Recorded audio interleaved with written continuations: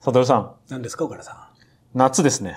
ん。夏、そうですね。暑い。暑い。めちゃくちゃ暑いな。やばい。うんやばい、やばい。35度、6度ですよ、もう。うん、ちょっと死がありますよね。日射病っていうか、なんていうか、熱中症。ややっぱりね、暑い夏といえば、うん。階段。階段？ああ、古典的なね。あなるほどね。怖い話をして、ね。怖い話をして、ちょっと涼もうという季節じゃないかなと思って、今なるほど。日はちょっと旅の階段をうん。お話しして。旅の階段？あんまり聞かない組み合わせだな。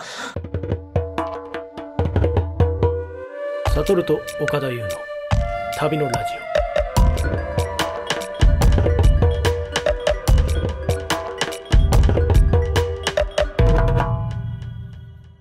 これは僕が経験した、オ。あ、始まった。ごめんなさい、じゃあ本当にあった話なんですけど。本当にあった話普通に、ちなみにですね普通に階段話すんで、はい。怖い人はもう聞くの、あの、怖いのあは、ーもし本当に苦手な方がいたら、あの、はいはい別の回でも聞いて、まあ怖くない回がほとんどだから、あの乳ね。首が焼けた回とか。あれはちょっと怖いんじゃない？かあれ怖い性的にあんまり問題がある話があるから。まあいいや、ごめんなさい。じゃあそれで、ねはい、じゃえーっと、10年前ぐらいですね。はい僕大学卒業直前ぐらいに行ったトルコでの話なんですけどあ。、え友達と二人でトルコのカッパドキアというね、えお有名な、ね。有名なはいはい。世界遺産になってるところそう、世界遺産になっている、あの、奇岩、珍しい、うんうんうんあの奇妙の木に岩で奇岩でが有名なところなんですけど、まあ、そこに行った時の話で、2月頃かな寒い時期に行きまして、はい。貧乏旅行で高速バスで寝るみたいなはい。生活を続けてたんで、きついな2週間目ぐらいです。うん。ギリシャからこう渡ってトルコに行って、でも結構クタクタになってたんでで、その奇岩のホテルみたいなのがあって、まあ、岩の、あの、すぐ近くに、まあ、泊まれるみたいな、洞窟のホテルみたいな、ちょっと暗めのホテルに良さそうですね。久しぶりのベッドだっつって、でもう夕方5時ぐらいに寝ようって言って、もう疲れてるから。わかる。で、ベッド、それぞれにベッドがあって、シングルベッドが2つあって、に寝たんですよ。で、寝たんですけど、はい。パッて目が覚めて、で目が覚めたんだけど、まあ、目が開かないと。え？でな、体が動かないと。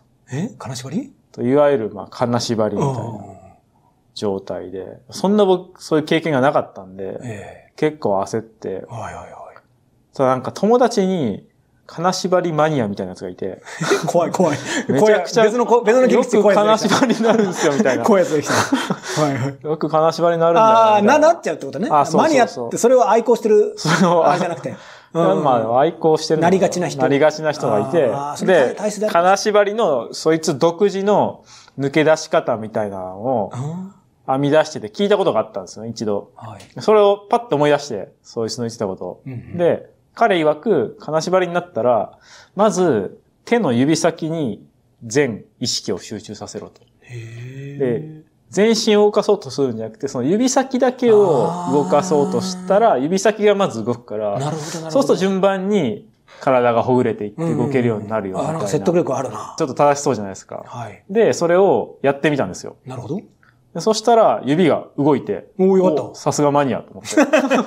さすがマニアだと思って。はい。はい。で、ファーって溶けていったんですけど、僕はその時う、ん横向いて寝てて、はい。で、横向いて寝てたんですけど、肘のあたりまでこう、ファーって動くようになって、そこで終わったんですよね。だからそのあ肘から上あ、ダメ。の部分だけ動く状態。うんうんうん。なん、なん、ていう音で表現したらいい部分的そのなところだけ回答、回答されたっていうかなんていうそうかそうそう。手の腕のうんじゃあ立ち上がることはできないうん立ち上がれないし、目も開かないし、えー、怖い。えー、目もみ引き続き開かないんだ。開かない。きついな。顔、頭も動かせない。ええー、怖いな。で、な、なんだこれと思って、だからその手の一部をずっとバタバタしてたら、なるほど。手が振って何かに触れたんですよ。やっば。怖っ。何これと思っえ、怖っ。てたら、僕はその横向いて寝てたんですけど、僕の体を誰かが抱きしめてるやばいな。ってことに気づいて、なんか多分、それまでは気づいてなかったんですけど、えーなんか触って初めて、あ、誰かが抱きしめられてるみたいな。最初友達かなと思ったんですよ。ーそれも怖いけど。でも友達の、そのね、ね、な寝息がこう後ろから聞こえてくるから違うなっでもなんだなんだなんだて、で、なんだこれと思ってパニックになって、わーってやってたらどんどんどんどんなんか締め付けが強くなっていって、えで、痛くなってきたんで、もうパニック状態で、うわーってこう、手の一部だけをバタバタ動かしてたら、パンって何か手が当たってー、はい。その僕の顔の後ろに顔があって、やばいな人の顔、僕は目が開かないんで見えないんですけど、はいその手触りだけではい。顔だと思って、はい。うわ、顔あると思って、バーって触っはい。て、それどんどんどんどん締め付けも強くなっていって、で、なんとなくパニックながらも、顔の鼻高と思って、トルコ人の方もね。鼻が結構、うんうんあの結構ね、皆さん、彫りが深いそうね。から、あ結構造形が日本人っぽくない、まだめしてるなと思って。でももうパニックになって、うわ、どうしようと思ったら、そのもう、高い鼻を僕の手がふってって掴んで、はい。で、でパニックになって僕はふわーっと思いっきりその鼻を引っ張ったんですよ。引っ張った。そしたらポロって鼻が取れて、何？すごいな。もう真剣に怖いな。え、どうポロって取れた瞬間に、ふわーって全部金縛りが解けて、目も開いて、おーあ、じゃあ何？パ幽霊？ーって受けて誰もいない。幽霊なのか。で、真っ暗だったんで、電気つけたら、まあ友達が普通にベッドで寝てて、で、友達を起こして、おい、みたいな。ああ、みたいな。ー。金縛りマニアは。で、これこれ、こうで、こういうことがあって、って言ってうんまたまた、みたいな感じになって。いや。本当にあったんだよ、みたいな。で、全然信じてくれないから、うんどうしようかなと思って。でももうなんか全然信じられないから、まあいいやと思って。で、まあその夕方に寝たんで、シャワーとかも行ってなかったんでなる、ほどね。シャワー浴びるかっつってシャワー浴びて服脱いだら、締め付けられて跡が真っ赤になってた。うおー、じゃあリアルにそういう証拠が肉体には残っていたと。肉体に残ってた。怖えー。いやーなんか生き延びてよかったですね。いやいやいや普通にちょっとね。ただね、まあもちろんその疲れてたんで、うんまあ、そういう夢を見たっていう可能性もね、もちろんあるので、なるほどね。わかんないんですけど、どね。まあその体験としては結構僕の中では割と衝撃的な、へ海外の幽霊ってなんかまた違うのかなみたいな。そのなんか日本だと、お稲荷さんとか、まあ、狐の霊とかねー。よく聞くのが足がある。あ、そうそうそうそう、ね足ないあるとか。そうですね。文化としてはあるかもしれないですね。結構場所によってなんか幽霊の文化とか、そうね。あり方みたいなのそうがね。違うのかなと思って。うん、柳っていう草はね、あの、木木かな？は、結構他の国にもあるけど、やっぱ日本が特別にやっぱ柳の下には幽霊が出るみたはいいはいなのがあったりとかねはいはい。。そういうのはあったりするかもしれないですね。そうそうそう。でもやっぱりなんかその、どうしてもね、因果というか因縁とやっぱ考えがちだから、やっぱりその戦場があったところとか、うんさっき言ったよね、あお墓があるところとか、やっぱりそういうところには出やすいんじゃないかなっていうのはなんか感じるのはあります共通してるんね。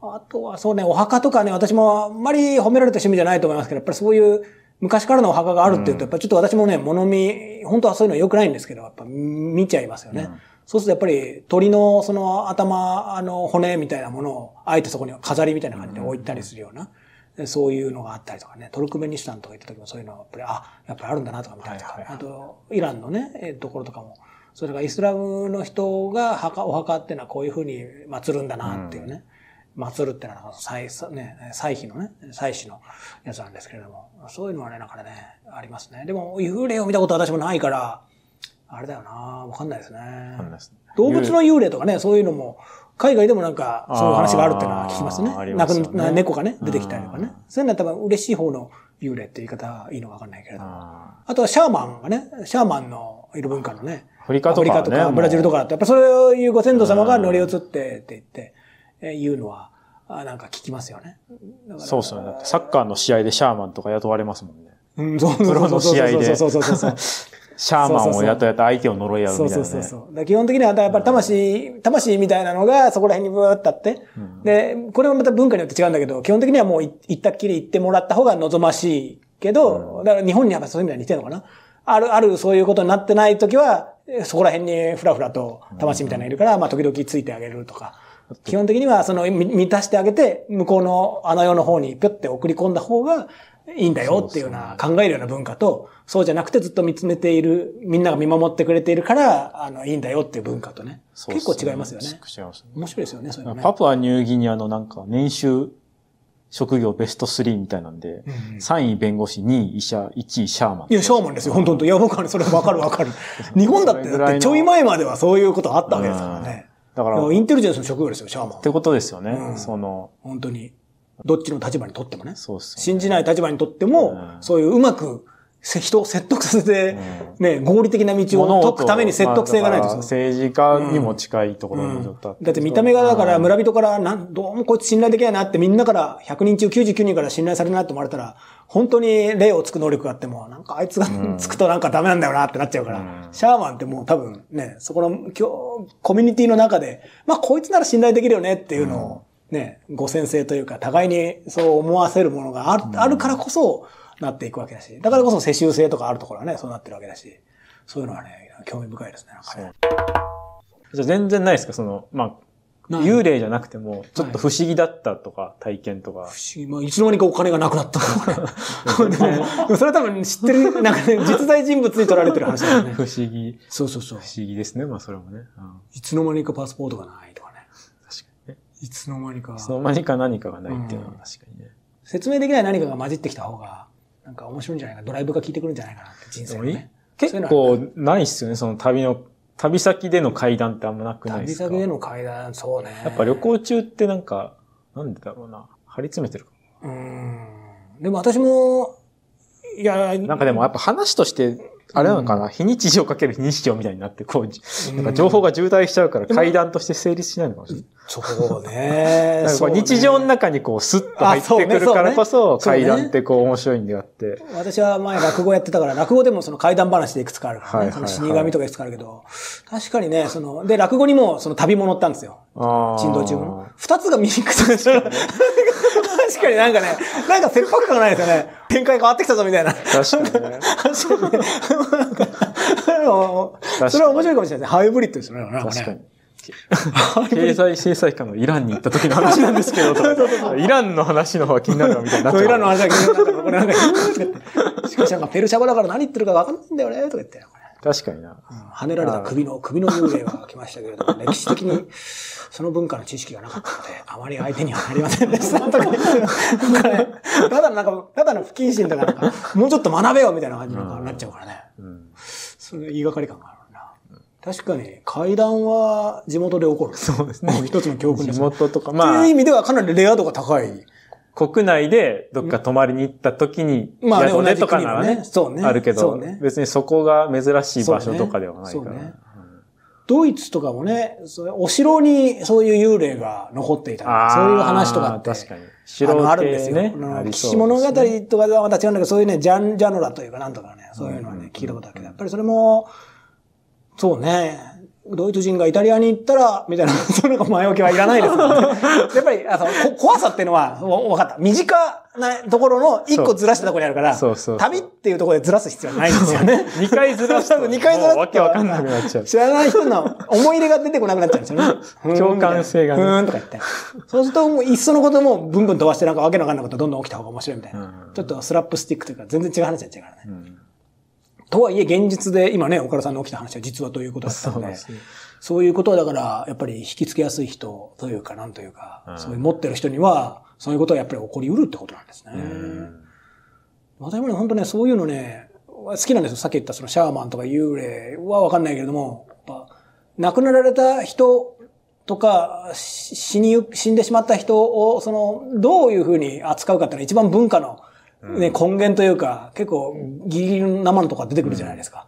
食い物とかもそうです。食べ物とかもね、性に直結する。性に直結するところで、ね、その、セックス系のことだってどういうふうに扱うかとか、はい話をどういうふうにタブーにするかとか、異性、同性、性の話をどういうふうに扱うかとか、そういうね、その性性的な行為をお金で買うことに対してどういうふうに扱うかとか、結構国によって違うじゃないですか。同じように死んだ人っていうのも結構難しいテーマ、根源的なテーマだから、そういうのをどう扱うかっていうのが、私やっぱそこに興味があるんですよね。なんか別に専門的な知識僕ないけど、お墓に行ってどう祀られてるかとか、カトリック教だとやっぱりあの、骸骨みたいなものを、ね、カタコンベみたいな感じで、こう、わーっと地下に行くと、そういろんな人のドクロが、こう、わーって陳列していくとか、あれのもなんか、圧倒的なものがありますよね。そこ陳列されてて、もう死を思思うというかね、メメントモリっていうか、死を思って近くにあるからこそ自分の今生きてることを大切に考えるみたいなのが、ああいうのもすごく僕は日本にはあんまりないそういう文化だけど、ああいうのすごい迫力がありますよね。ミイラとかそういうドクロをそのまま、骸骨をそのまま陳列するっていうことに対しての態度みたいなのも、ああ、なるほどなってね、思うのはありますね。幽霊は僕はないけど、やっぱそういうとこ興味あるから。日本のなんか妖怪とかもこう、そう僕、妖怪辞典とか読むの好きで、はいはいはい。ちっちゃい時。はいはいはい。なんか明らかに、これそういう変なやつだろみたいな妖怪とか。なるほどね。不審者に注意みたいな、そう、ね。白、白手の王血ってやつがいて。なんですかなんかね、道端でん、白いケツを出してくるっていう。それはあの事案ですよね。あの、今だったら、その E メールとかでね、小学校で発生するやつですよね。多分、なんかそういう、まあ、なんか、理解できないことを、まあ、幽霊とか妖怪っていうなんかその物語を通して解釈するみたいな。うん。端的に気をつけろっていう説得性もありますからね。そうそうそうの妖怪なんだから気をつけろと。気をつけろ。子供にもね、妖怪だから近寄りなみたいな。面白おじさんとか、あとなんとなく面白くなっちゃうけど、でもやべえやつなんだってね。妖怪だって言った方がね、一発で説得力があるから。すごいですよね。その、変変態が妖怪になれる時代っていう、るほどね夢のある時代。夢はないんだけど、いや、それこそ 現実的ななんか知恵として備えてる気もするけど。なるほどね。それはありますね。だんだん最後はあんまり怖くない話そうですけど、そういうノリということで。投稿コーナー、生きて帰ろう。おこれも久しぶり久。々に行きましたねうん。久しぶりラジオネーム、ダメダーさん。ダメな感じだな。大丈夫か？えー東京都青梅市在住、林業従事者です。おー、すげ毎え。回楽しみに拝聴してます。ありがとうございます。えー海外旅行では腰にポシェットを巻き、パスポートやデジカメなんかを入れてました。用心のために用意してたのが、箸と笛。ん？ん？箸、なんか、箸って何？チョップスティック？お箸。箸は手が汚れていても食べられるように。笛は、笛は災害や監禁。グループとはぐれてしまった時などを想定して用意しましたちょっと。この人ずれてないかな。面白い災害とはぐれるの間に監禁が来るっていう。なるほど。うん。監禁された時に吹くための。なるほど。で、縛られてたら、笛も吹けないだろう。まあいいや、ごめんなさい。ちょっと。ダメだ。あ、ごめんなさい。えーそれで？はい。あ、という、こう、いやいや生きてね。い生きて帰るコツとして、だから、ポシェッとト、、ポシェットの中にパスポート入れるのは、ポシェットって結構怖くないですか？だってここに大事なものあるでってこと周りに見せびるかしてるのもんじゃない確かにね。うん。でも開けてみたら箸と笛が入ってて、なんだこれ？なんだこれみたいなね。ダメだってね、これ言われるかもしれないんだけど。笛ってどういう笛？だよホイッスルかな？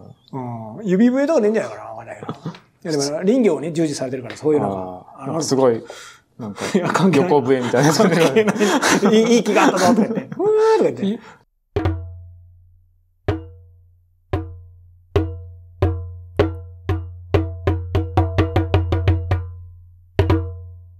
旅のラジオ。今日のお別れの挨拶は、笛の音。